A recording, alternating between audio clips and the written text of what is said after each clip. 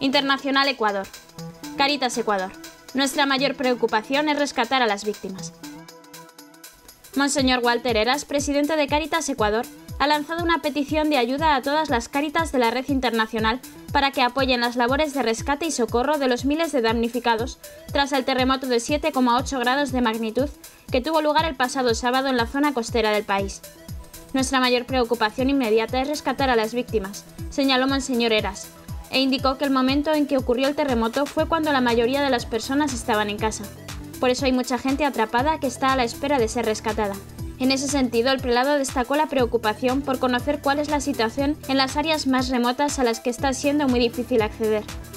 Daniela Andrade, coordinadora de comunicación de la Cáritas ecuatoriana, explicó que en los lugares más afectados estamos viendo a personas que han evacuado sus hogares y están durmiendo en las calles.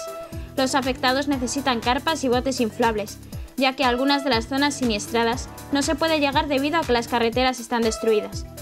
Según informan desde Cáritas, asegurar las condiciones de higiene y los sistemas de saneamiento son las máximas prioridades en las que se está trabajando. Monseñor Eras también subrayó la importancia de acompañar a los afectados. Nos alienta que todas nuestras organizaciones hermanas se sumen a nuestros esfuerzos para auxiliar a todas estas personas que han perdido sus negocios y sus hogares, que lo han perdido todo. Y Caritas puede ayudar a llenar este vacío que el terremoto ha causado en estas personas.